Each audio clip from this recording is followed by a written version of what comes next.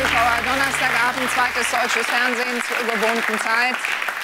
Klasse, dass Sie wieder mit dabei sind zu diesem Thema. Tja, wenn türkische Politiker in Deutschland nicht vor 100, sondern vor 10.000 zuhören, reden, wenn so viele Deutsch-Türken in Erdogan ihr Vorbild sehen und sich für die Dinge hierzulande so wenig interessieren, dann, ja, dann ist der Stand der Integration offenbar deutlich schwächer als bisher angenommen, wie ein CDU-Politiker in diesen Tagen entgeistert feststellte. Ist daran allein Erdogan schuld? Schon lange sind die Deutsch-Türken statistisch eine der ärmsten Zuwanderungsgruppen. Ihre Kinder die mit den geringsten Schulerfolgen. Warum? Weil sie hier nie wirklich integriert waren? Weil die Deutschen immer Angst vor dem Islam hatten, wie Erdogan behauptet? Oder weil man als türkischer Einwanderer, auch der dritten Generation, hier ziemlich bequem in einer Parallelgesellschaft leben kann? Fragezeichen. Wir müssen reden mit diesen Gästen. Ahmed Toprak, der Erziehungswissenschaftler, sagt, die Stimmung unter den Türkeistämmigen ist auf der Kippe. Erdogan spricht die Sprache der Abgehängten.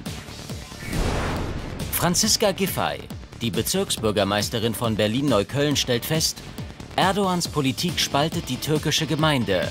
Das gefährdet unser Zusammenleben. Canan Topschuh, die Autorin, sagt, wenn Türken der zweiten und dritten Generation gut finden, was in der Türkei passiert, dann fehlt offenbar das demokratische Verständnis. Paul Ziemiak, der Vorsitzende der Jungen Union, fordert, wer hier lebt, der muss sich zu unserer Gesellschaft bekennen. Mustafa Yenerolu, der türkische AKP-Abgeordnete, wuchs in Köln auf und sagt, ich fühle mich der Gesellschaft in Deutschland genauso verpflichtet wie der in der Türkei. Und Cem Özdemir, der Grünen-Vorsitzende, sagt, in Deutschland die freiheitliche Demokratie genießen, aber in der Türkei die Einrichtung einer Diktatur befürworten, ist absurd. Sie sind zu Gast bei Maybrit Illner. Und die begrüßt Sie ganz herzlich in dieser Runde, liebe Zuschauer. Tja, wochenlang haben Wahlkampfauftritte von AKP-Politikern hier in Deutschland als auch in ganz Europa die Stimmung gemacht. Und nun gibt es seit Deutschland die Mitteilung, dass es keine weiteren Auftritte mehr geben wird bis zum Referendum. Herr Jenorolo, können Sie uns ganz schnell erklären, warum? Warum keine Wahlkampfauftritte mehr von AKP-Politikern?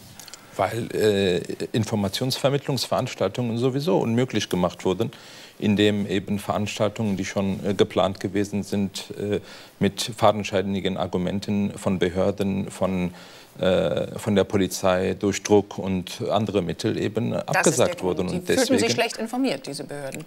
Und zwar nein, durch die AKP-Politiker schlecht Das sind ja immer unterschiedliche Argumente gewesen. Wären es zwei Veranstaltungen, die mit solchen Argumenten untersagt worden, werden, worden wären, dann hätte ich Ihnen recht gegeben. Es ist aber grundsätzlich unmöglich gemacht worden, dass äh, insbesondere unser Lager, äh, Lager, also solche, die für Ja plädieren, äh, eben ihre Veranstaltungen nicht durchführen dürfen, während eben andere mhm. eben äh, des Lagers äh, der HDP, der JHP überall im Lande ihre. Veranstaltungen durchführen können, ohne genau. dass jemand sich darüber aufgeregt hat. Das stimmt nicht. Genau diesen Eindruck hat die Mehrheit der Menschen in diesem Lande nicht. Dennoch sind wir tatsächlich gespalten. Woher kommt das? Warum gibt es diese Spaltung sowohl in der deutschen Community als auch in Deutschland?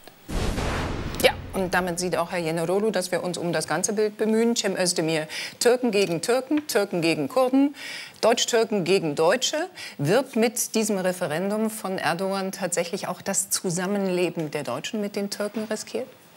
Es wird das Zusammenleben riskiert von Deutschen mit Türken, es wird das Zusammenleben riskiert von Türken mit Türken. Das geht ja zum Teil quer durch die Familien, es geht durch Nachbarschaften, durch Freundschaften. Und es ist in jedem Fall nicht gut für unsere Gesellschaft, das Zusammenleben. Denn die Probleme meiner Kinder, die werden hier in Deutschland gelöst, nicht in der Türkei. Also ich habe natürlich ein gewisses Interesse, dass in der Türkei die Demokraten siegen. Aber egal, wer in der Türkei regiert, meine Probleme werden hier in Deutschland gelöst. Und das hat viel auch mit Versäumnissen der Integrationspolitik der letzten Jahre zu tun. Hätte man mal früher angefangen, mit dem liberalen Staatsangehörigkeitsrecht früher den Leuten gesagt, das ist eure Gesellschaft, ihr seid Teil dieses Landes. Wir wären heute an der anderen Stelle. Jetzt muss man das Versäumte schleunigst nachholen. Mein Eindruck ist, äh, die Absage hat nicht nur mit dem zu tun, was Herr Jennerolo gesagt hat, sondern das hat auch damit zu tun, dass man, glaube ich, verstanden hat, es gibt gerade. Mhm. Ich kenne auch Leute, die AKP wählen, die strikt gegen meine Position sind, aber merken, dass das, was da gerade passiert, extrem gefährlich ist, weil das fördert die Populisten, das fördert die AfD. Das ist ein Wahlaufruf für die AfD, was die AKP-Politiker hier an Tamtam äh, vorgeführt haben. Und eines muss man mal klar sagen, Deutschland hat viele Probleme. Aber wir sind eine großartige Demokratie. Hier gibt es keinen Faschismus, hier gibt es keine Diktatur, hier gibt es keinen Nationalsozialismus, keine Gaskammern. Wer sowas sagt, der hat seinen Verstand irgendwo sitzen, aber nicht im Kopf. Mhm. Canan Topschuh ist bei uns. Frau Topschuh, Sie sind freie Journalistin, Publizistin, Migrationsexpertin. Sie sind in der Türkei geboren und leben seit Ihrem achten Lebensjahr hier in Deutschland. Und Sie sagen, Sie möchten in diesem Referendum mit Nein plädieren. Wie zerstritten ist in Ihren Augen diese deutsch-türkische Community? Also was ich mitbekomme, sowohl privat unter den Freunden und Bekannten, als auch als Journalistin, die dazu recherchiert und ähm, sozusagen so ein bisschen in, in den Communities reinhört, stelle ich schon sehr stark fest, dass es äh, diese ähm, Polarität gibt zwischen den Ja- und Nein-Befürwortern. Äh, und auch, äh, dass es eigentlich so richtig gute Freunde, die früher gute Freunde waren, auch äh, mittlerweile ähm, ja, keinen Kontakt mehr zueinander haben. Ähm, das ist das Extreme. Was weniger extrem ist, dass die Leute einfach dann das Thema aussparen. Mhm. Also ich erlebe das ja auch bei mir. Ich habe auch so ähm, türkeistimmige Türkei Nachbarn, ja. äh, mit denen ich eigentlich immer sehr ganz so gut auskam und wir vom Garten zu Garten auch miteinander ins Gespräch gekommen bin.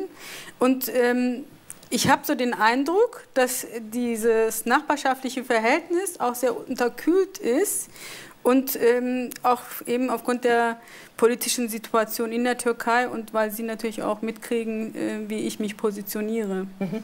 Erleben Sie sowas wie Zurückweisung, ähm, Misstrauen, äh, Angst bei anderen? Ja, klar. Also äh, wenn ich als Journalistin ähm, O-Töne brauche, dann ist es ganz schwierig, Menschen mit ähm, eigenen Namen, Originalnamen auch ähm, überhaupt ähm, dafür zu gewinnen, sowohl die Erdogan-Anhänger als aber auch die Gegner. Die Erdogan-Anhänger mittlerweile, weil sie dann befürchten, dass sie ähm, Probleme irgendwie am Arbeitsplatz bekommen. Mhm.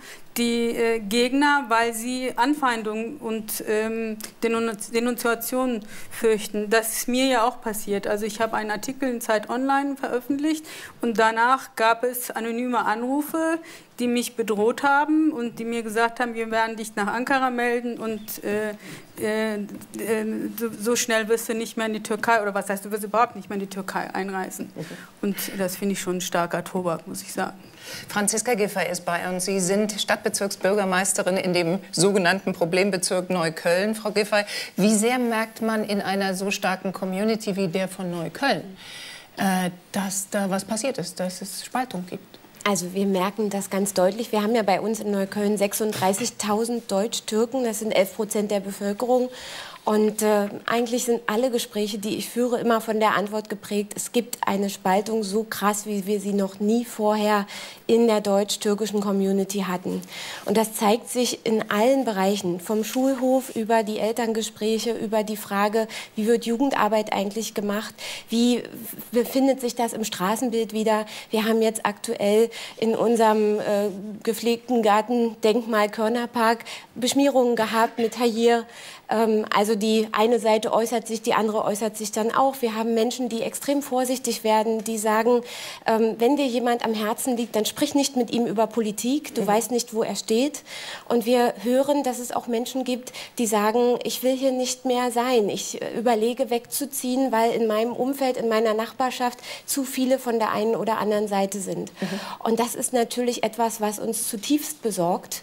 Und es geht wirklich ein Riss durch die türkische Community, der dazu führt, dass Menschen eher von Angst geleitet sich zurückhalten, sich zurückziehen oder eben versuchen, irgendwie mit dieser Situation klarzukommen, indem sie es vermeiden, darüber zu reden. Und das alles ist nicht förderlich für die Demokratie und für unser friedliches Zusammenleben in so einer Stadt, die von so vielen verschiedenen Nationen geprägt ist. Damit haben wir Sie auch zitiert. Paul Ziemiak ist bei uns, der Vorsitzende der Jungen Union von der CDU. Herr Ziemiak, Herr Jenerolo hat es gerade erwähnt, AKP-Veranstaltungen werden abgesagt. Auf der anderen Seite am Samstag 30.000 Menschen, die für die PKK, für die verbotene PKK demonstrieren. Ähm, macht die deutsche Politik da irgendwie gerade eine gute Figur in Ihren Augen? Ich finde, die Bundeskanzlerin hat sich ziemlich klar geäußert, dass sie äh, diese Beleidigungen, die permanent aus Ankara kommen, so nicht dulden wird. Und das Ergebnis sehen wir jetzt. Äh, die AKP hat angekündigt, dass es keine weiteren Veranstaltungen geben wird. Um hier auch die Dinge nicht durcheinander zu bringen. Jeder kann sich versammeln. Jeder kann zu Veranstaltungen aufrufen. Aber was nicht sein kann, dass die türkische Regierung Politiker entsendet, vorher nicht nur die Bundesregierung beleidigt, sondern unser ganzes Land, Politiker hier hinschickt, um Konflikte aus der Türkei in die deutsch-türkische Community zu tragen. Das ist etwas, was wir nicht wollen. Und deswegen sage ich, alle, die Politik machen wollen, die Politiker sind in der Türkei, die sollen das in der Türkei machen. Dass hier Menschen sich versammeln, Übrigens bekämpfen wir alle, die zu Gewalt aufrufen. Auch die Anhänger der PKK, die wir als Terrororganisation äh, einstufen. Es ist verboten, übrigens jetzt nach Anordnung des Bundesinnenministers auch das Bild des Vorsitzenden zu zeigen. Äh, das darf man nicht. Insofern bekämpfen wir beides, aber man sollte es nicht vermischen. Eine Botschaft ist klar, wir wollen nicht die, äh, die Konflikte aus der Türkei hier in Deutschland haben. Mhm. Und dennoch haben wir diese Türkei Demonstration der PKK gesehen. Da waren auch Öcalan-Bilder zu sehen. Es gab eine entsprechende Aufregung darum, wiederum bei den AKP-Anhängern. Ähm, ist es gut, wenn die Bundeskanzlerin nur sagt, diese Vergleiche mit ähm, Nazi-Deutschland machen sie traurig? Hätte sie nicht ein klareres Statement, eine klarere Aussage wählen müssen? Also ich hätte diese Geduld nicht gehabt. Ich habe mich äh, unglaublich geärgert darüber. Es ist eine Unverschämtheit. Ich weiß gar nicht, wie man auf die Idee kommen kann, auch im historischen Kontext die das, was die Bundesregierung macht, das, was wir Deutschen machen, zu vergleichen und als Nazi-Methoden äh, anzuprangern.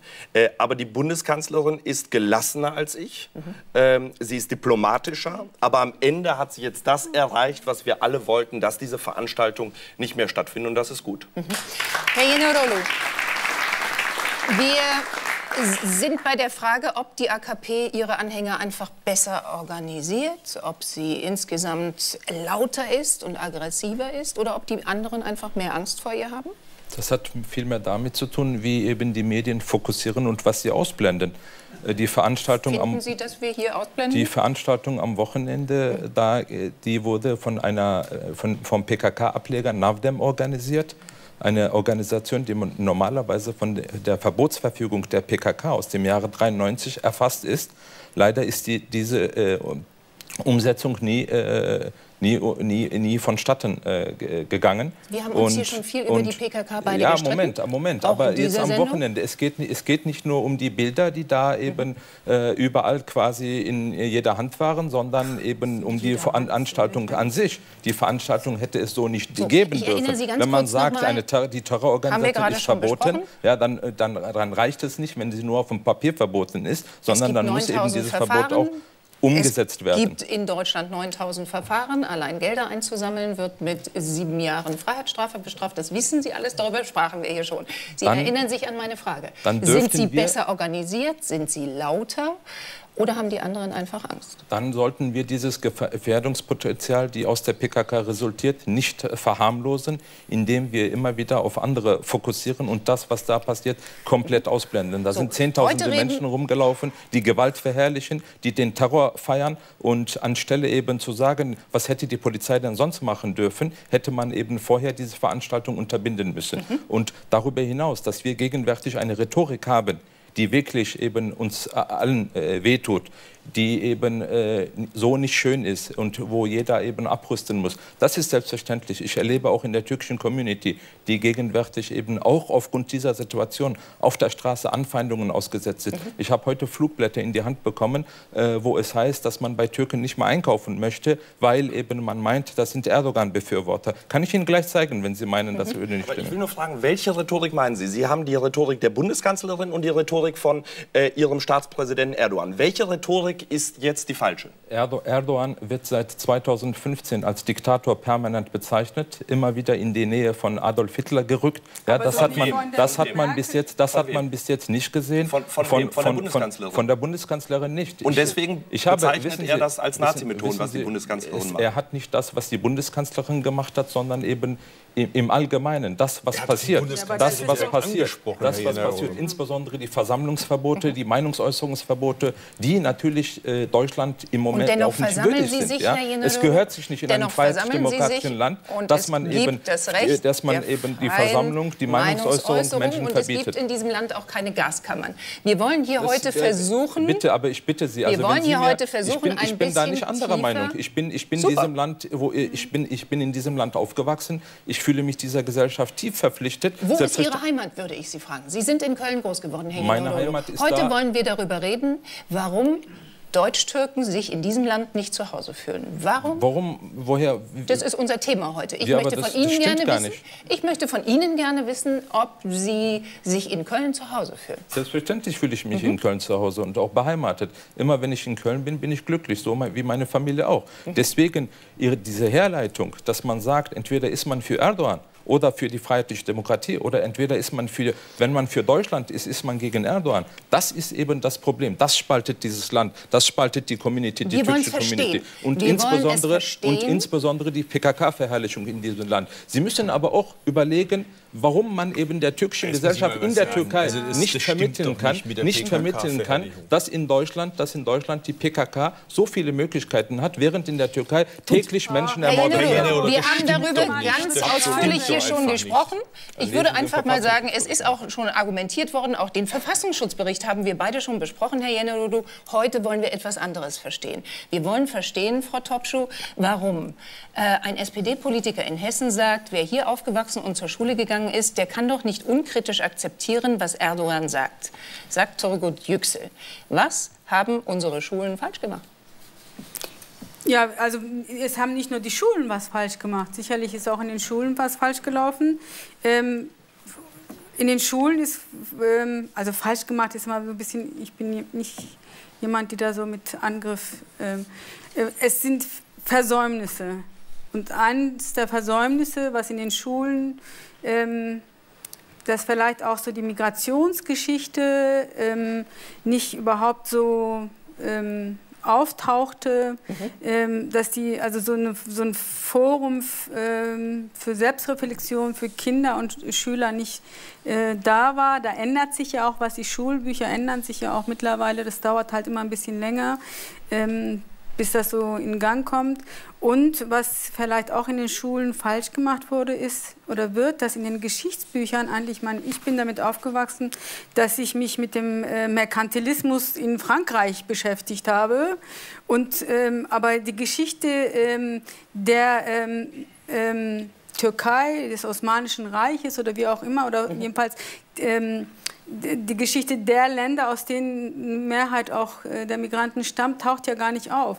Ich denke, das wäre vielleicht auch ganz gut gewesen, wenn, ähm, wenn die ähm, Geschichten ähm, in den Schulen auftauchen, Und dass es, auch, dass es auch eine Möglichkeit gibt, eine andere Perspektive darauf zu bekommen und nicht nur mit diesem äh, Größen ähm, Wahn, mit dem ja auch das Osmanische Reich verherrlicht wird und dass diese offizielle Version Mhm. auch bei den Leuten dann immer so eingetrichtert wird. Also dass da irgendwie auch so ein Gegenpol geschaffen wurde. Mhm. Okay, das wir fragen nochmal Ihr Vis-à-vis, Frau Giffey. Gleiche Frage.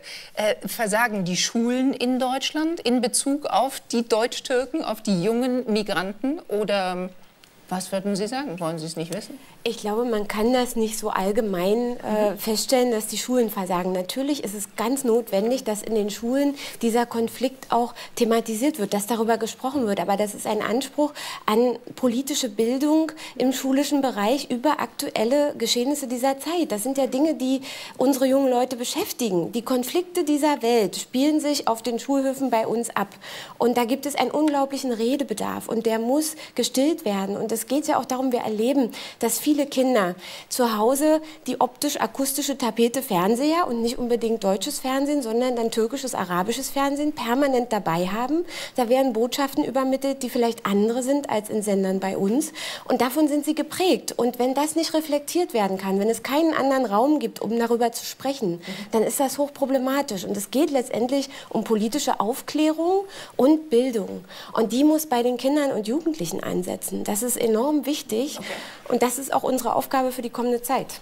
Herr Ziemiak, an Ihrer Vita ist interessant, dass Sie als Kleinstkind mit Ihren Eltern aus Polen kamen und natürlich wissen, was es heißt, sich zu integrieren in diesem Land. Äh, was hat man Ihnen da besonders schwer gemacht als äh, polnische Zuwandererfamilie, was nicht? Und was würden Sie denken, macht einen Bürger dann zu einem Staatsbürger?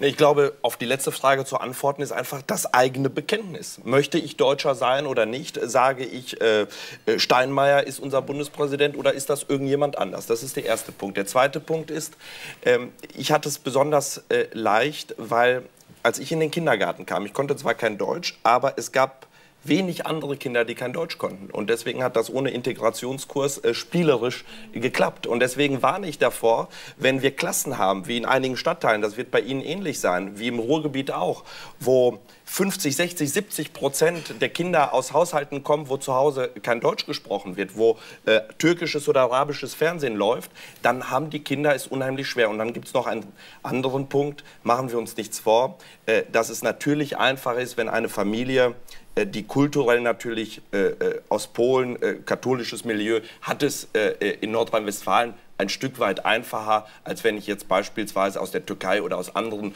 äh, Kulturen äh, komme. Das mhm. ist einfach schwieriger und deswegen brauchen wir mehr Anstrengungen, um diese Menschen dann zu integrieren. Mhm. Unbedingt darüber werden wir reden in die aktuelle Debatte, Herr Özdemir. Das war interessant, hat ausgerechnet Peter Altmaier, der Kanzleramtsminister, äh, die Ehre integriert. Er sprach plötzlich von der deutschen Ehre, die es auch gäbe in der Auseinandersetzung mit dem türkischen Präsidenten. Ist das in Ihren Augen eine gute Kategorie im politischen Wettstreit? Ich weiß nicht, ob man die Ehre bemühen muss, aber dass die Bundesregierung sehr lange gebraucht hat, bis sie aufgewacht hat und bis sie mal zu klaren Worten gefunden hat, das hat, glaube ich, der Letzte mitbekommen in dieser Republik. Ich meine, die Kanzlerin war jetzt in den letzten Monaten häufiger in der Türkei wie in den zehn Jahren davor, auffällig oft kurz vor Wahlen. Das konnte man schon fast als eine Art Wahlhilfe für Herrn Erdogan verstehen, dass sie jetzt angesichts dieser skandalösen Äußerungen von Herrn Erdogan äh, einen Kurswechsel vorgenommen hat. Das begrüße ich, aber es hat auch sehr lange gebraucht, bis man endlich mal klargemacht hat, was geht und was nicht geht in diesem Land. Es gibt mhm. einfach bestimmte Grenzen. Das wirkt sich aus auf die Integrationspolitik. Ich habe ein weiteres Beispiel. Schauen Sie, als ich ein Kind war, da habe ich das ZDF eingeschaltet und da gab es eine muttersprachliche Kein Sendung. Und diese muttersprachliche Sendung, die es beim ZDF gab und beim WDR gab es eine Radiosendung.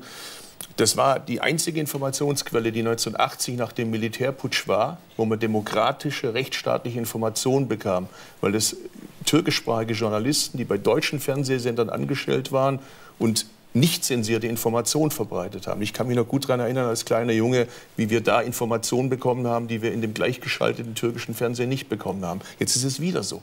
Praktisch alle Fernsehsender der Türkei sind gleichgeschaltet. Die wenigen, die nicht zum Erdogan-Empire gehören, die zensieren sich selber aus Angst, dass sie die Nächsten sind. Das heißt, sie können hier in Deutschland leben, türkisches Fernsehen anschauen und man erzählt ihnen 24 Stunden am Tag, dass sie hier auf Feindesterritorium leben. Das, was wir jetzt gehört haben an Äußerungen von Herrn Erdogan, das wird im türkischen Fernsehen regelmäßig gesendet. Wenn Sie sich das anschauen, dann haben Sie das Gefühl, Sie sind hier umstellt von Leuten, die Ihnen Böses wollen. Das wird die Integration nicht leichter machen. Mhm. Übrigens, ein ähnliches Phänomen haben wir auch bei den Deutschrussen zum Teil, was die Fernsehsender angeht. Ich plädiere dringend dafür, dass wir endlich die Auseinandersetzung annehmen Kopf und Herz der Deutsch-Türken zu gewinnen für dieses Land. Von mir aus sollen die Konservativen die CDU gehen, die Fortschrittlichen sollen zu uns gehen, ein paar dürfen auch noch zur SPD gehen.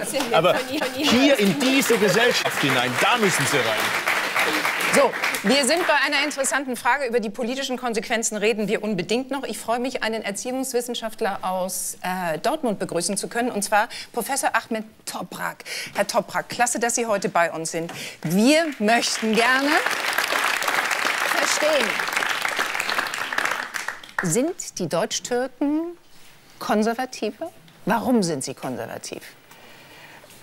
Konservativismus ist erstmal gar nicht mal was Schlechtes, weil das will, ja die, das will die CDU auch ja. Ne? Äh, weil man sagt jetzt zur CDU, die hat sich so sehr, so sehr in, die, in die Mitte bewegt, was natürlich die rechte Ränder vielleicht vergessen wurden. Also, also, grundsätzlich ist es nicht schlecht, aber wenn man, wenn man Migranten als solche sind immer in Diaspora im Vergleich zu Herkunftsländern konservativer. Also mhm. das gilt für alle Migranten im Allgemeinen. Und bei Türkei-Stimmigen sind sie auch natürlich konservativer, deshalb, weil sie auch seit, dem 19, seit 1973 gibt es einen Anwerbestopp und wir haben mit Türkei-Stimmigen zu tun, die erste, zweite, dritte Generation sind. Und die, wenn man sich die Struktur der ersten Generation sich anschaut, sind meistens Menschen aus den ländlich geprägten Gebieten, aus wirtschaftlich unterentwickelten Gebieten zu uns gekommen, die auch vielleicht teilweise Analphabet waren etc.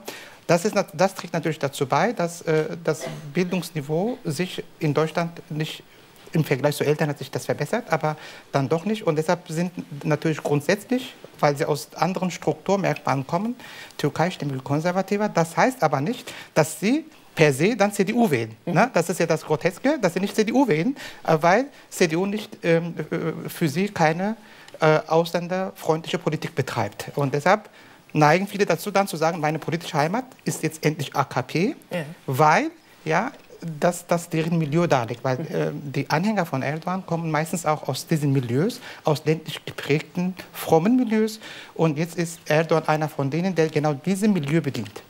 An wen, nur damit wir das verstehen, an wen wendet sich Erdogan aus Ihrer Sicht? Wendet er sich an die Türken hier in der Türkei, wenn er spricht? Oder wendet er sich eigentlich an die Türken in der Türkei?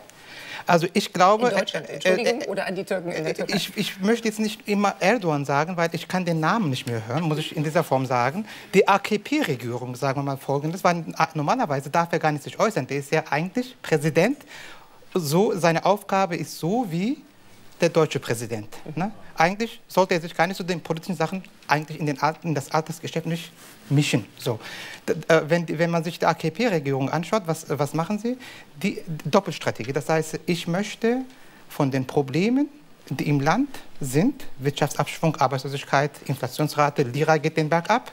Das heißt, ich möchte davon ablenken. Was kann ich am besten ablenken, wenn ich Feinde habe? Was, welchen Feinde? Die bösen Europäer, die uns dann ähm, äh, schlecht behandeln. Mhm. Also das heißt, es wird eine Opferrolle aufgebaut, die dementsprechend auch natürlich einerseits den Türkei-Stimmigen in Deutschland suggeriert, schaut mal, die bösen Deutschen, wir verstehen euch ja, euch geht es ja auch ja so, was Herr, Erdogan, was Herr General jetzt gerade gemacht hat, diese Opferhaltung ist ja stellvertretend für, die, für Erdogan und dann am Ende für Türkei-Stimmige, das ist so dieses Schema, das wir kennen und mhm. das ist, hat auch natürlich Struktur im Sinne von in die Opferrolle begeben und dann muss man ja darauf reagieren. Und wenn man darauf reagiert, dann sind die Bösen, die dann uns Türken, uns Muslime mhm. und uns was auch immer schlecht behandeln. Seht her, ich, ich, ich kenne euch, ich weiß, was ihr fühlt. Das ja. ist die Strategie. So, stimmt es eigentlich, das ist eine weitere Untersuchung von Ihnen, dass die Deutsch-Türken in erster Linie AKP wählen? Äh, das muss man äh, relativieren. Man muss sich ein paar Zahlen anschauen. Wenn man sich die letzten Wahlen anschaut, ist es folgendes. Es, es gibt in Deutschland drei Millionen Türkei-Stämmige. Mhm. Warum sage ich Türkei-Stämmige? Weil da sind Kurden dabei, Aleviten, Sunniten, Schiiten, alles Mögliche ist dabei. Deshalb Türkei-Stämmige. Und von denen sind 1,4 Millionen wahlberechtigt. Das heißt, ich kann nicht wählen, ich bin deutscher Staatsbürger. Ich kann jetzt nicht wählen gehen, es sei denn, ich, gehe, ich wähle im Bundestag. Äh, und von diesen 1,4 Millionen haben sich überhaupt 40 Prozent beim letzten Mal äh, bei den Wahllokalen registriert. Und von diesen 40 Prozent, die sich registriert haben, haben 59,6 Prozent AKP gewählt. Und ich habe noch eine andere These. Meine These sagt auch, dass die meisten gut integrierten äh, wählen auch aus zwei Gründen nicht AKP, weil sie nicht wählen dürfen, weil mhm. sie Deutsche sind, deshalb dürfen sie nicht wählen. Und auf der anderen Seite wählen sie auch AKP nicht, weil sie natürlich auch ähm, meistens gut integrierte, reflektierte, auch dann, was auch Frau Giffey gesagt hat, die auch dann Sachen hinterfragen, die auch dann natürlich das Demokratieverständnis, die politische Bildung ist ausgeprägt mhm. und die sind meistens eingebürgert. Und dann nur noch mal, um es zu verstehen, 1,5 Millionen sind wahlberechtigt, davon 40 Prozent überhaupt nur Wahlbeteiligung. Die haben sich zu 60 Prozent für die genau. AKP ausgesprochen. Wir reden also über 300.000 Circa 300.000, ja. Bürger, die die AKP gewählt genau. haben. Deshalb muss man auch noch mal verstehen, genau. über welche Relationen wir ja, eigentlich Deshalb sprechen. die Aufregung habe ich nicht verstanden und ich Wo woher kommt trotzdem die Faszination, ist die nächste Frage. Woher kommt die Faszination für junge Deutsch-Türken äh, für die AKP? Also bei der dritten Generation, wenn man sich die äh, erste, zweite Generation natürlich erstmal außen Haben Sie vor. erklärt? Genau, weil, aber bei der, bei der dritten Generation eigentlich, wenn man die fragen würde, was sind die Grundlinien der Erdogan-Politik? Sie kriegen keine vier Sätze zusammen. Äh, ich habe mal ein bisschen rumgefragt und dann sagen sie, ja klar, Erdogan hat das dann groß gemacht, Erdogan hat jenes, jene, äh, Flughafen gebaut, Straßen gebaut, etc. So. Aber das war es dann aber auch. Mehr kommt auch nicht. Aber wenn man so die, den Habitus sich anschaut, welche Politik verfolgt Erdogan, was steht dahinter? Da, da kommt nicht viel. Meine These ist folgendermaßen, es geht gar nicht um Erdogans Politik, sondern es geht um Protest. Protest, alle sind gegen Erdogan. Die Deutschen sind alle sowieso gefühlt gegen Erdogan. Die Hälfte der Türkei-Stimmigen ist auch gegen Erdogan. Und viele äh, reden despektierlich über ihn, aus Sicht dieser jungen Männer, Menschen. Und dann, dann kann ich ja provozieren. Wenn ich für Erdogan bin und dann mit Erdogan konterfei durch die Gegend laufe, mit Türkei-Fahnen schwenke, alle kriegen einen Hals. Und dann kann ich dann provozieren und mit dieser Provokation zeige ich meinen Protest. Und das sind meistens auch die Abgehängten. Und die Abgehängten, nicht, nicht missverstehen, die Abgehängten sind auch nicht diejenigen, die keinen Schulabschluss haben. Es gibt auch viele Akademiker, die sich abgehängt fühlen. Ob das so ist oder nicht so ist, das können wir nicht feststellen. Aber vom Gefühl her fühlen sich abgehängt. Also Provokation ist wichtig und Emotion Em ist Emotion wichtig. ist ganz wichtig. Und wir reden über die Frage vielleicht dann doch des sich abgehängt fühlens, warum das so ist und haben mal mit Ihrem freundlichen Einverständnis angeschaut, wie allein die Chancen in dieser Gerechtigkeit eben für Akademiker beispielsweise sind und ob die Politik auch da Vorreiter ist. Sie ist es häufig. Sie setzt sich für, ein, für Minderheitenrechte ein. Sie setzt sich für eine Frauenquote ein. Aber ausgerechnet auf diesem Feld ist sie es nicht. Schauen Sie mal. Das sind 0,2 Prozent, um das noch zu ergänzen. Herr Toprak, Sie haben es auch geschafft. War das schwer? Äh, der Weg nach oben ist steinig, muss man dazu sagen. Was natürlich bei mir auch noch dazu kommt, ich bin auch innerhalb der Fakultät noch aufgestiegen, ich bin auch noch Dekan. Das heißt nicht aber, dass das einem geschenkt wird, sondern man muss richtig sich darum kümmern. Ja, ich, ich habe mit 31 Jahren äh, promoviert und als ich dann mit der Promotion fertig war, äh, hat man mich an den Hochschulen nicht ernst genommen, weil ich einfach A, so jung war, B, auch so jung ausgeschaut habe. Und das hat dazu beigetragen, dass man mich gar nicht eingeladen hat zu den Probevorlesungen. Das heißt, man muss hart arbeiten. Aber mein, ich habe aus eigener Erfahrung äh, gesehen, äh, dass das möglich ist, wenn man, wenn man dann nicht aufgibt. Was, äh, was Frau Giffey auch gesagt hat, zum Beispiel in den Schulen. Äh, als ich in den 80ern Jahren in die Schule ge- gekommen bin, war das Problem in der Tat so, dass wir in äh, türkische Vorbereitungsklassen reingesteckt werden. Und ich dachte, ich werde in die deutsche Regelklasse vorbereitet. Nein, ich wurde gar nicht darauf vorbereitet, sondern ich wurde auf eine Rückkehr in die Türkei vorbereitet. Ich hätte mir gewünscht, dass man mir mich dann in die Regelklasse vorbereitet, damit ich mich dann mit Deutsch und sonstigen Sachen äh, zurechtfinde. Nein, damals war eher äh, sowas in der Tat. Äh, und was ich aber noch jetzt in Bezug auf diese Jugendliche sagen möchte, wenn, wenn man jetzt sagt, wir müssen restriktiv sein in Bezug auf äh, Migrationspolitik, kann das genau das Gegenteil bewirken. Also mein Vorschlag wäre, dass äh, Frau Merkel als Gegenpol sich äh, präsentiert und sagt, ich bin eure Kanzlerin äh, eine äh, Sachpolitikerin, die dann sich auch präsentiert, aber nicht auf der semantischen Ebene sich präsentiert, sondern auch Angebote macht, sich auch um Türkei-Stimmige kümmert. Äh, zum Beispiel doppelte Staatsbürgerschaft darf nicht in Frage gestellt werden. Man muss vielleicht bei der Einbürgerung äh, Erleichterungen machen. Das heißt, ich würde eher in diese Richtung gehen, denen das Gefühl geben, ja, ich bin eure Kanzlerin, ich kümmere mich um euch, dann kommt doch und die Hand reichen. Wir wissen, wenn man mit Strenge zugeht, das führt nur dazu, dass man sich zurücknimmt. Herr Toprak, klasse, dass Sie heute bei uns sind. Vielen herzlichen Dank. Mit zwei Fragen zurück in diese Runde. Frau Topschuh, möchten junge Migranten hier in Deutschland lieber gefürchtet werden als geliebt? Stichwort Provokation. Also ich ähm, habe jetzt selber keine äh, Umfragen dazu gemacht. Wenn Herr Toprak das meint, äh, kann schon sein. Also ich möchte geliebt werden und ich habe den Eindruck, dass ich äh, äh, ähm, geliebt werde eher, wenn ich äh, auch ähm, eine Verbundenheit zu Deutschland entwickle und auch diese Verbundenheit auch lebe. Ähm, Also wenn man geliebt werden möchte, sollte man sich nicht unbedingt an das Herkunftsland der Eltern und Großeltern orientieren. Ähm, So, Punkt. Sondern sich auch für das Land seiner neuen Heimat interessieren. Herr Siemerk, wir sind bei der entscheidenden Frage. Herr Toprak hat es gerade äh, erwähnt. dass es ein konservatives Klientel unter diesen Deutschtürken gibt. Hat die CDU, die Bundeskanzlerin wurde konkret angesprochen, hat die CDU da auch ein Wählerpotenzial verschenkt?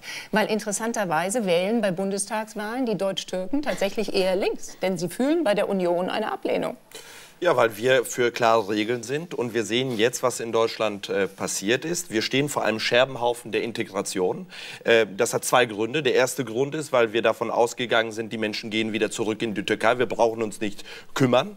Da haben wir zu wenig gemacht. Und auf der anderen Seite haben wir zu lange ein buntes Fest der Kulturen gefeiert, gesagt, Multikulti ist gut. Ein Grünpolitiker hat gesagt, naja, wenn die Leute sich beschweren, dass sie auf der Straße irgendwo in Neukölln oder Kreuzberg äh, die Sprache nicht verstehen, verstehen, dann sollen sie eben Türkisch oder Arabisch lernen.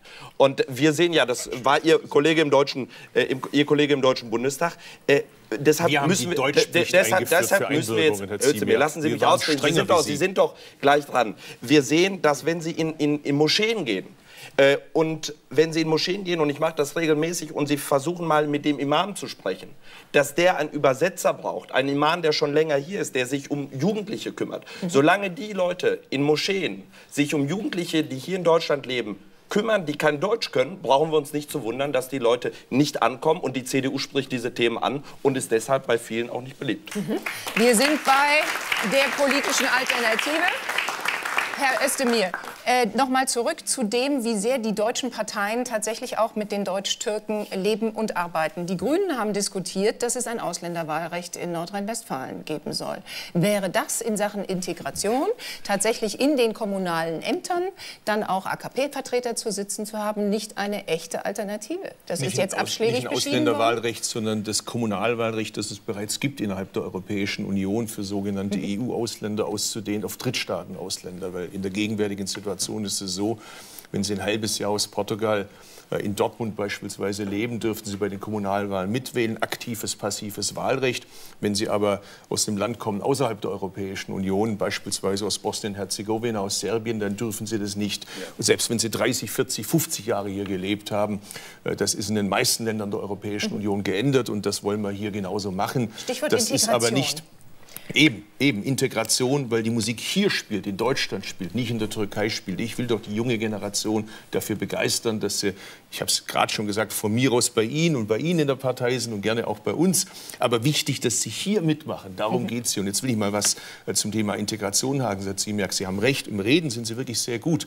Aber die Sprachkurse verbindlich eingeführt haben wir, als wir regiert haben. Ja? Davor gab es die nicht. Wir haben dafür gesorgt, dass hier geborene Kinder mit der Geburt deutsche Staatsbürger werden. Ich bin in Deutschland geboren geboren. Ich spreche besser Schwäbisch wie Türkisch. Leider. Die ersten Worte, die ich im Kreissaal gehört habe, waren Schwäbisch, nicht Türkisch, von den ganzen Leuten, die drumherum standen. Und trotzdem war ich in meinem Land, und ich liebe die Schwäbische Alb mindestens so sehr wie die Leute dort. Ich war erst mal Ausländer, das ist doch Irrsinn. Wir müssen doch dafür sorgen, Kinder, die hier geboren werden, die sollen von Anfang an als Bürger unseres Landes aufwachsen, damit sie eben nicht zu den Erdogans, zu den Putins, zu den Orbans dieser Welt pilgern. Ich will sie doch hier reinholen. Helfen Sie mir ja, dabei. Ich helfe Ihnen doch sofort. Wir haben die Diskussion ja über die die doppelte Staatsbürgerschaft gehabt.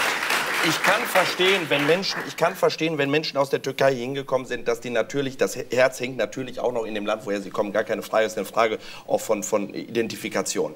Aber ich bin doch ganz bei Ihnen, Herr Zimmer. Dann lassen Sie uns doch gemeinsam sagen, diejenigen, die hier geboren sind, die hier auch hier hingekommen sind, bekennt euch zu Deutschland, integriert euch. Und am Ende der Integration steht der deutsche Pass, für den man sich dann auch entscheiden muss und dann kann man auch wählen, dann hat man aktives und passives Wahlrecht. Das, was die Grünen fordern, lassen Sie mich das aussagen. Die, die, sagen nicht, die, sagen nicht, die sagen nicht, am Ende steht der Pass und am Ende steht äh, äh, das Wahlrecht. Die sagen, egal aus welchem Land man kommt, alle dürfen wählen, alle dürfen alle Rechte haben äh, und alle richtig. kriegen sofort den Pass. Ich finde, ich finde als erstes die Integration. So, wir, möchten, Herr Ziemiak, wir möchten ja verstehen, warum es solche Übersetzungsschwierigkeiten im übertragenen Sinne in der deutsch-türkischen Community gibt. Warum, Frau Giffey, äh, ist es immer noch so, dass äh, die Menschen aus der Türkei kommen, das Gefühl haben, dass sie im Kopf und im Herzen eher mit der Heimat verbunden sind, mit der alten Heimat verbunden sind, als sich hier zu Hause zu fühlen. Was ist Ihr Befund? Warum fühlt man sich hier nicht zu Hause? Zunächst mal glaube ich, dass der deutsche Pass alleine nicht zur Integration führt. Es ist weder eine Garantie, wenn ich den deutschen Pass habe, dass ich mich integriere, noch ist es automatisch eine Gefahr für die Integration, wenn jemand zwei Pässe besitzt. Denn die Integration liegt an einem anderen Punkt. Es geht darum, dass Menschen sich zugehörig fühlen müssen als Teil der Gemeinschaft. Und dafür müssen sie sich akzeptiert und gewertschätzt fühlen. Solange wir immer noch die Debatte darüber haben, wie viele Kinder in einer Schule NDH sind, nicht deutscher Herkunft, sie haben also einen Makel, sie sind nicht deutsch oder sie sind deutscher Herkunft, mhm. solange wird es immer diese Unterscheidung geben. Kindergartenkinder lernen schon, welcher Identität sie denn nun zugehören. Ich komme in eine Kita und lese vor und ich habe nur Fünfjährige vor mir sitzen und der Erste sagt, ich bin Araber und ich bin Türke. Und und dann sage ich, sag mal Kinder, wo seid ihr denn geboren? Na, in Berlin.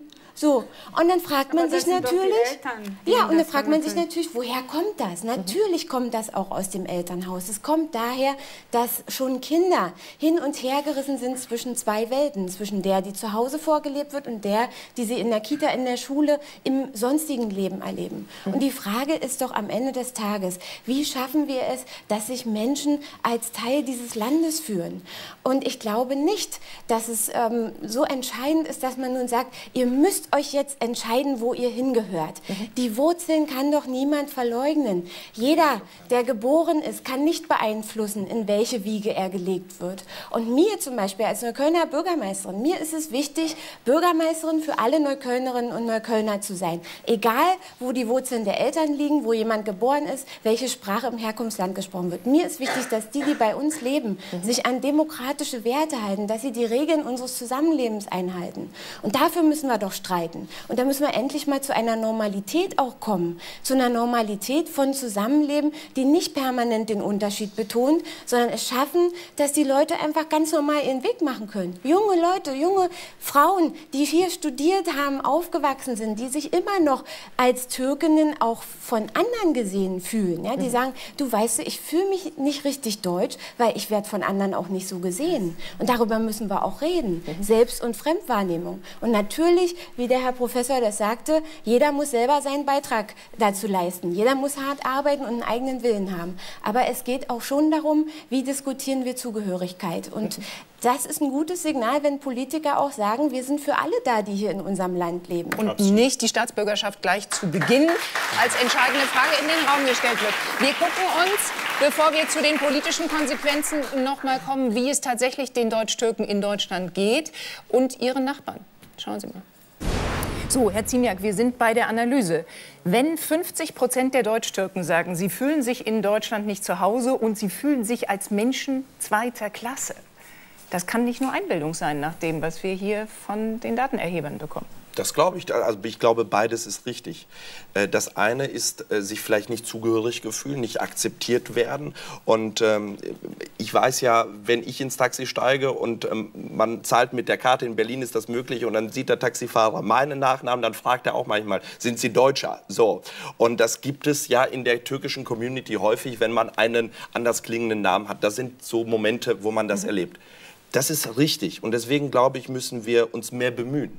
Ähm, auf der anderen Seite müssen wir aber auch sagen, wir fordern etwas dafür. Man muss sich auch anstrengen. Das hat was mit Bildung zu tun, dass wir die Eltern in die Pflicht nehmen. Denn die Zahlen, die Sie dort gezeigt haben, hat ja nicht nur was damit zu tun, dass die Menschen aus einem anderen Land kommen, sondern dass die, die damals gekommen sind, häufig über wenig oder kaum Schulausbildung gehabt haben, einfache Tätigkeit hier verrichtet haben. Das heißt, bis dann ein Bildungserfolg sich in der zweiten und dritten Generation einstellt, dauert es natürlich länger als bei Menschen, die beispielsweise aus einem Akademikerhaushalt gekommen sind. Ich glaube, beides brauchen wir. Wir sollten nicht verfallen nach dem Motto, alles ist einfach, wenn wir nur sagen, ihr seid herzlich willkommen. Man muss sich auch anstrengen. Wer hier leben will, muss sich anpassen. Und wir müssen die Voraussetzungen schaffen, dass die Leute hier so, ankommen. Und wenn jetzt aber beispielsweise die Chefredakteurin der Bild am Sonntag schreibt, Herr Ziemiak, was müssen wir tun, ist die Frage. Äh, wenn wir mehr richtig gemacht hätten, würde Erdogan bei uns nicht vor 200, sondern äh, würde Erdogan bei uns vor 200 und nicht vor 20.000 Menschen regieren reden. Ist das jetzt nicht eigentlich auch ein guter Moment für einen Unionspolitiker, sich mal selbstkritisch zu fragen, was man anders machen könnte? Das habe ich ja äh, gerade gesagt. Wir haben zu wenig äh, in den vergangenen Jahrzehnten gemacht, die Union, aber auch alle anderen Parteien, weil wir gedacht haben, die Leute gehen wieder. Das wird nicht zu einem großen Problem. Und auf der anderen Seite haben diejenigen, die sehr liberal sind und gesagt haben, Multikulti ist super, äh, lass doch äh, alle äh, ganze Stadtteile nur in türkischer Sprache, das ist doch eine Bereicherung. Nein, am Ende sehen wir, wenn in einem Stadtteil eine andere Sprache gesprochen wird, dann ist das für die Kinder und Jugendlichen ein Hemmnis, sich zu integrieren. Deswegen brauchen wir mehr Sprachkurse, wir brauchen äh, mehr Arbeit äh, in den Sozialeinrichtungen. Aber noch etwas. Ich finde, wir müssen auch die türkische Community selbst in die Pflicht nehmen. Das, was ich gerade gesagt habe. Ein Anker sind zum Beispiel die Tipp-Moscheen, die es gibt in Deutschland. Ich finde, die sind gefordert, bei der Integration zu helfen. Und ich würde mir wünschen, wenn die Leute, dort im Vorstand sind, die Imame äh, und auch die ganze Betreuung von jungen Menschen dort in deutscher Sprache stattfindet und nicht in türkischer. Mhm. So, und damit sind wir wieder bei der geografisch linken Seite. Herr Jenerolo, eine ganz offene Frage an Sie. Was glauben Sie ist das größte integrative Problem in Deutschland? Warum sagen 50 Prozent der Menschen, sie fühlen sich hier im Land als Menschen zweiter Klasse? Und es gibt Gründe dafür, das zu sagen. Es gibt in Deutschland eben nach wie vor eine mangelnde institutionelle Religionsfreiheit für Muslime. Es gibt in Deutschland nach wie vor einen weit verbreiteten institutionellen Rassismus. Es gibt No-Go-Areas, es gibt Racial Profiling, es gibt eben äh, eine, eine selektive äh, Beurteilung in den Schulen. Es gibt Wo sind Sie denn die No-Go-Areas? Das können Sie in äh, berichten. Zum Beispiel zuletzt die UN-Kommission hat Deutschland eben institutionellen Rassismus beschieden die, und hat gesagt, dass es in Deutschland, insbesondere in Ostdeutschland, sehr viele Ecken gibt, wo Ausländer sich am besten nicht blicken lassen sollen. Es gibt tagtäglich in Deutschland an die 80 restmotivierte Straftaten. Darüber wird wir haben ja, Moment, Rassismus aber wissen Sie, Sekunde. Ich möchte, nein, nee, nee, Frau, äh, Sie merken, dass das eine Sendung Sie, ist, die sich darum bemüht, ja, wirklich Antworten haben, zu finden. Nein, aber Sie haben die ganze wir Zeit. Wir haben Rassismus Sie, in Sie diesem setzen Land. hier ein Bild von Erdogan voraus. Das Nein. ist aus meiner Sicht eine, eine Verklärung.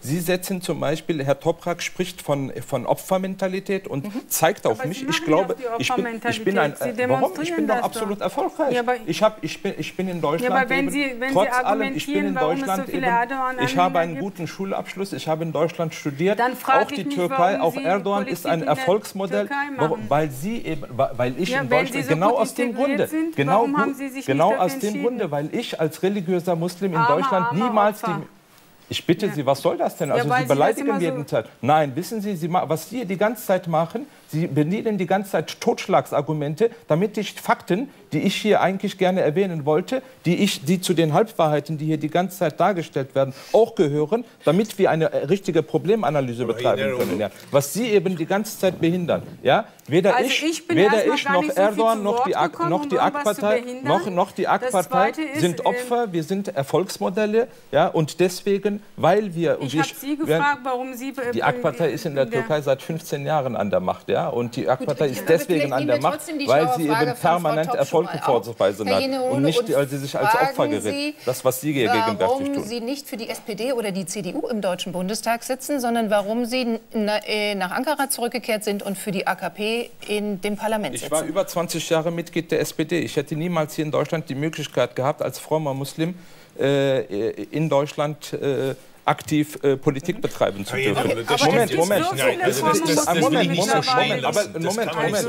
Herr, Herr Özdemir ist eigentlich ein sehr gutes Beispiel dafür, wie die türkische Community in Deutschland gespalten ist. Er ist bis vor zehn Jahren jemand gewesen, der wirklich ein gutes Vorbild für die meisten türkischstämmigen äh, Menschen in Deutschland gewesen sind. Das hat, nein, ab, nein, das, Sie kritisieren okay. nicht Erdogan, Sie dämonisieren. Was Sie darüber hinaus machen, was, die, was die Grünen darüber hinaus gemacht haben, ist, dass die Grünen zum Beispiel ihre Religionspolitik völlig auf den Kopf gestellt haben. Eine selektiven Religionspolitik, wo eben bestimmte marginale Minderheiten promotet werden, aber die sunnitischen Muslime völlig eben äh, ausgegrenzt werden. So, Darüber ich würde gerne mal darauf antworten, weil das stimmt wirklich dass nicht. Ihre Antwort auf die Frage, warum hier 50 Prozent der Menschen sagen, sie seien hier Deutsche zweiter Klasse, haben Sie beantwortet damit, dass es eine Ausgrenzung der Muslime gibt und dass wir uns rassistisch mit den Gläubigen verhalten würden, was auch ein Grund war für Sie äh, in der AKP. Das können Sie in jeder Studie nachlesen. Ja? Ich wollte es nur einmal zusammenfassen. Aber warum blenden Sie diese Fakten aus? Ich blende aus? nichts aus. Ja? Und wenn man das äußert, warum soll man dann Opfer sein?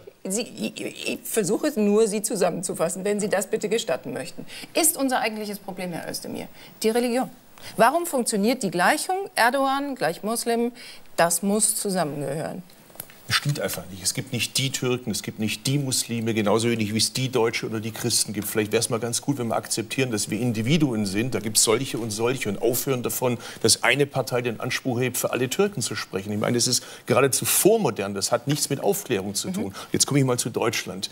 Mein Vater ist vor kurzem gestorben und er wurde muslimisch beerdigt. Die Friedhofsordnung in Baden-Württemberg ist so geändert worden, dass muslimische Beerdigungen legal möglich sind, mit Blick nach Mekka, mit allem, was dazugehört. Sie kennen das genauso gut wie ich. Und jedes Bundesland macht das in Deutschland. Wir haben Gefängnisseelsorge, die wir einführen. Wir haben in der Bundeswehr türkischstämmige, arabischstämmige Soldaten, die diesem Land dienen und die bekommen Seelsorge in ihrer Religion. Es gibt in diesem Land Religionsfreiheit. Wir haben kein Problem mit Wer Muslimen. wir haben kein Problem mit Muslimen. Sie verklären wir haben ein Problem mit Verbänden, die ihre Befehle aus der Türkei Nein, bekommen. und das akzeptieren so. wir nicht. Und die, solche Muslime, Verbände, die, die ihre Befehle aus Kandil bekommen, die sie permanent promoten, das, das blenden sie komplett aus. Sekunde. Ne? Ganz kurze Frage an Was Frau ist denn mit solchen Verbänden, die, die, die, hier in Deutschland offiziell Religionsgemeinschaften sind und die eben die hier These von Herrn Jenerolo, gibt es einen muslimischen Rassismus in Deutschland?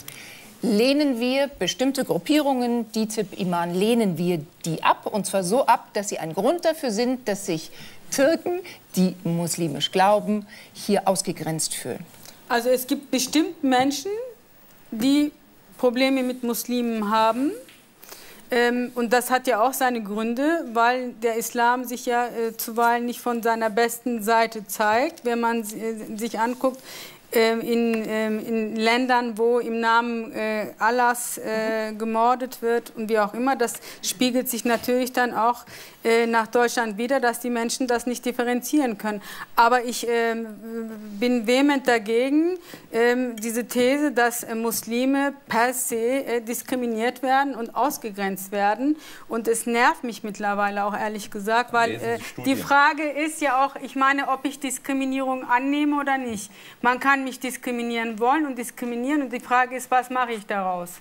Ja, also es hat immer auch einen Moment, äh, in dem ich entscheide, mache ich mich und lasse ich mich zum Opfer machen und äh, lasse ich mich äh, von irgendwelchen äh, großen Politikern äh, darin bestärken, dass ich Opfer bin und in Deutschland äh, Rassismus und Islamfeindlichkeit gibt. Das gibt es sicherlich auch, aber nicht nur. Und in Deutschland ist mehr als das, was äh, Ihr Parteivorsitzenden und Ihr äh, Staatspräsident hier ähm, den Leuten versucht zu vermitteln. Wie groß ich lebe ist gern, Darf ich noch ja, einen Satz? Unbedingt. Ich lebe gerne in Deutschland und ich finde, dass Deutschland ein, ein tolles Land ist. Es gibt auch sehr viele äh, nicht gute äh, Sachen, aber all das, Wen was ich in Deutschland, jemand hinter mir, der, nein, was, all das, was es Meinung in Deutschland vertritt? gibt, äh, ja. gibt es in der Türkei nicht. Und ich verstehe Menschen nicht, die von all dem, von der Rechtsstaatlichkeit bis zu der medizinischen Versorgung, alles profitieren, dann aber dieses Land so verdammen und für Erdogan äh, Feuer und Flamme sind. Sorry, das verstehe ich nicht. Ja? Diese Dialektik, diese,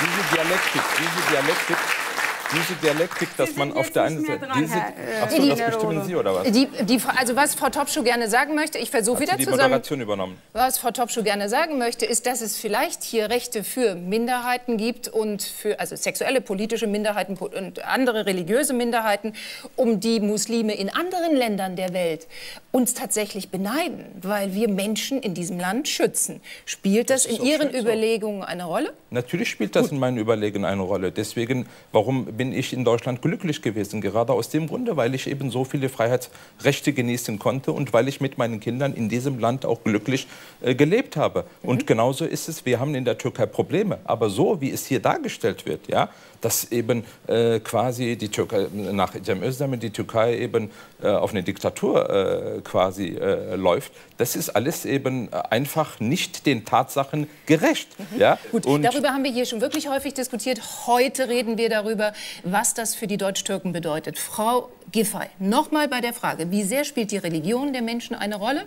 Wie sehr ist unser deutsches Problem, dass der muslimische Glaube tatsächlich ein anderer ist, dass wir eine kulturelle Unterscheidbarkeit haben. Also es gibt natürlich große Unterschiede. Wir haben bei uns im Bezirk 60.000 Muslime, wir haben 20 Moscheen, davon sind elf türkische Moscheen. Und man muss einfach sagen, dass die Religion äh, bei diesen Menschen eine ganz große Rolle in ihrem Leben spielt und dass die Religion und das, was in den Moscheen gepredigt wird, auch einen großen Einfluss natürlich hat auf diese Menschen. Und es besorgt mich schon, wenn dann äh, bei uns in einer Moschee ein Moscheevorstand äh, komplett ausgetauscht wird. Ein Moscheevorstand, mit dem wir bisher gut zusammengearbeitet haben, der für den interreligiösen Dialog gearbeitet hat, der mit uns partnerschaftlich in der Jugendarbeit unterwegs war mhm. und der sich geöffnet hat gegen eine ganz andere äh, Vorstandstätigkeit, die wir noch nicht kennen, aber die natürlich, ähm, natürlich von der Türkei beeinflusst ist. Wir erleben, dass es an vielen Stellen sehr wohl die Einflussnahme des türkischen Staates bei uns gibt. Wir erleben es auch in kleinen Dingen mit unserer türkischen Partnerstadt, mhm. mit der wir eine Volkshochschule zusammenarbeiten. Ich wollte über die deutsche Aversion ja. reden. Ich wollte gerne verstehen, Herr Ziemiak, warum eigentlich die Union, viele Konservative, ausgesprochen pikiert reagiert haben, als Christian Wolf den Satz sagte, der Islam gehört auch zu Deutschland. Ist das ein zentrales Problem für die Deutschen? Nee, ich glaube, weil er, er mit diesem Satz äh, äh, vielleicht die, das, das Gefühl vieler Menschen in Deutschland falsch eingeschätzt hat. Nämlich äh, die Frage, gehört der Islam genauso historisch wie das Judentum oder das Christentum zu Deutschland? Äh, sage ich nein. Das ist, äh, unser Land ist eben äh, durch Jahrhunderte anders geprägt. Aber natürlich gehören die Muslime zu Deutschland. Und deswegen war dieser Satz so ein bisschen für einige problematisch. Aber ich will noch mal darauf zurückkommen, was Sie gesagt haben, wenn Sie gestatten, ein Punkt. Wie wollen Sie das denn der, erklären, der, dass der, der, Islam nicht zu Deutschland gehört und die Muslime schon? Die Muslime, ist, die Muslime gehören, das ist die, weil das unser Vokabular, Land durch das Christentum... Das ist das Vokabular, das sagt mich, eben, die Muslime haben Ballast mitgebracht, das ist Nein. der Islam. Diesen, diesen Last sollen sie ablegen. und, dann, und solange sie sich kulturell hier assimilieren, gehören sie dazu. Das ist, also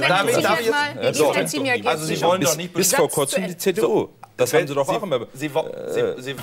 Darf ich? Bitte, natürlich. Danke. Sie wollen doch nicht bestreiten, dass, das, äh, dass der Islam genauso dieses Land geprägt hat wie Nein. das Christentum und das Judentum. Okay, Absolut. dann sind wir uns einer Meinung, deshalb sage ich es so. Aber das, was Sie betreiben, ist politischer Islam. Und das betreibt Herr Erdogan schon seit vielen Jahren. Und das ist gefährlich. Das ist gefährlich für die Türkei. Deshalb ist er übrigens auch schon in der Türkei einmal verurteilt worden. Und genau dieses gefährliche Spiel bringen sie nach Deutschland, indem sie sagen, ihr seid wegen eurer Religion, werdet ihr ausgegrenzt. Und Politik und Religion vermischen. Und das ist gefährlich. Und ich finde, wir müssen jetzt in einen Dialog treten, auch mit den hier lebenden äh, Muslimen und auch Türken, dass wir das trennen, dass wir das nicht wollen. Und natürlich gibt es in Deutschland Religion Religionsfreiheit. Und in der Türkei ist die Situation ja momentan auch so, dass man relativ schwarz-weiß malt. Dass man sagt, wer anderer Meinung ist, wird läuft schnell Gefahr, als Terrorist abgekanzelt zu werden. Und ich will in dieser Sendung, wo wir hier zusammensitzen, äh, auch nicht vergessen, das hier nochmal anzusprechen. Da sitzen Journalisten, unter anderem ein deutsch-türkischer Journalist der Welt, Dennis Yücel, in der Türkei in U-Haft, die mittlerweile bis zu fünf Jahren äh, dauern kann. Und das sage ich allen, die uns heute zuschauen, übrigens auch jungen Deutsch-Türken. Äh, in, in, in, ich genau. will die, die zuschauen, die Deutsch-Türken, die hier sind. Wir wollen nicht, glaube ich, jeder will auch für die jungen Menschen, auch für die Journalisten der Türkei, dass sie auch diese Rechte haben, die sie hier in Deutschland haben. Und wir denken heute auch an diejenigen, die im Gefängnis wir sind. Wir haben über die Türkei, danke für diesen Hinweis, wir haben über die Türkei auch in dieser Sendung schon mehrere Male gesprochen. Mich interessiert, Frau Topschuh, folgende Frage. Wenn sich das Verhältnis zwischen Deutschland und Türkei jetzt so zuspitzt, was heißt das dann für die Menschen, die ohnehin das Gefühl haben, in diesen zwei Identitäten unterwegs zu sein? Wird das nicht noch schwieriger für jeden Deutsch-Türken, das in seinem Herzen und im Kopf zusammenzubringen? Also es gibt ja ein, eine Gruppe, äh, ich kann nicht mit Zahlen dienen, aber es gibt eine Gruppe, die reichlich die Schnauze voll hat davon, dass so viel äh, türkische Politik nach Deutschland äh, äh, herangetragen wird und die dann auch mal wieder sagen, wir haben hier eigene Probleme, was Cem ja auch gesagt hat, äh, wir wollen uns damit befassen. Ähm, dann gibt es eine Gruppe, die natürlich auch aus einer emotionalen Verbundenheit in die Türkei, die ich auch habe, ähm, natürlich sich auch sehr dafür interessieren, in welche Richtung diese Türkei geht. Ähm, und die dritte ist, äh, ich weiß nicht äh, aus welchen Gründen, irgendwie das Hirn, Hirn abgeschaltet. Ähm, alles toll finden, äh, was äh, ihr Reis, der große äh, Sultan, macht. Und äh, diese ähm, das Ergebnis davon ist ja, dass das eigentlich das Image aller Deutsch-Türken, egal welcher Fraktion sie angehören, mhm. geschädigt ist massiv geschädigt. Auch weil die, die Deutschdeutschen, die autochthonen Deutschen einfach auch schon mittlerweile genervt davon sind, wie viel Raum diese Debatten einnehmen und äh, wie viel Raum Erdogan hier einnimmt. Und äh, ich finde auch, äh, im Grunde muss man äh, diesen Menschen, ähm, der ja eigentlich ein pathologischer Fall ist, äh, gar nicht mehr so viel äh, Raum einnehmen Was bedeutet lassen. es, Herr Özdemir, letzte politische Frage, für das Zusammenleben der Deutschen und Türken, wenn äh, Recep Erdogan sein Referendum gewinnt? Das ist keine gute Nachricht für die Türkei, keine gute Nachricht für das deutsch-türkische Verhältnis und das ist auch keine gute Nachricht fürs Zusammenleben hier. Das heißt für uns, wir müssen die Beziehungen zur Türkei komplett ändern. Keine Rüstungslieferungen, keine Wirtschaftshilfe. Ich glaube, dann ist die Türkei auf einem Weg Richtung Putin. Für hier muss das heißen, dass die Deutsch-Türken dringend in diese Gesellschaft geführt werden müssen. Das hat für mich auch zur Konsequenz jetzt bereits DITIB und diese ganzen Organisationen müssen sich abnabeln von Ankara. Es muss zu einer Organisation von in Deutschland lebenden Muslimen leben. Dann unterhalte ich mich gerne. Aber ich will nicht mit Leuten reden, die von Ankara Befehle bekommen. Muslime müssen hier in Deutschland sich als Muslime der Bundesrepublik Deutschland organisieren. Dann können wir über alles reden. Aber ich will nicht, dass Leute hier stellvertretend die Konflikte aus der Türkei in diese Gesellschaft tragen. Klares Nein. Mhm. Frau Giffer, was heißt es für die deutsche Community? Das ist eine politische Frage, wenn Erdogan dieses Referendum verliert. Ich glaube, dass beide Fälle natürlich weiter die Spaltung treiben werden. Wir haben ja, die Lager sind ja nicht klar. Es gibt eben die und die. Und äh, manche befürchten bei uns, dass es so oder so zu einem Bürgerkrieg in der Türkei kommt. Und dann ist die Frage, welche Auswirkungen wird das auf unser Zusammenleben hier haben. Mhm. Ich kann nur hoffen, dass wir es schaffen, über diese Dinge zu sprechen und dass wir es schaffen, dass diejenigen, die hier aufgewachsen, hier geboren sind, hier ihr Leben verbracht haben, haben, sich auch zu Deutschland zugehörig fühlen in erster Linie. Und dass sie hier akzeptiert und angenommen sind, weil sonst wird das nicht funktionieren. Wir werden immer diesen Minderwertigkeitskomplex haben und die Diskriminierungserfahrungen, die aufgearbeitet werden und der Nährboden für diese Entwicklung sind. Und dem müssen wir entgegenwirken, vor allen Dingen bei den jungen Leuten. Das ist unsere Zukunft. Wir brauchen die und die müssen sich hier in Deutschland zu Hause fühlen. Und das ist die Aufgabe für die kommende Zeit. Herr Generulu, sagen Sie, das ist eine gute Aufgabe? Genau das ist die Aufgabe. Sie müssen sich hier zu Hause fühlen? Selbstverständlich müssen Sie sich. Sie die meisten fühlen sich auch hier zu Hause.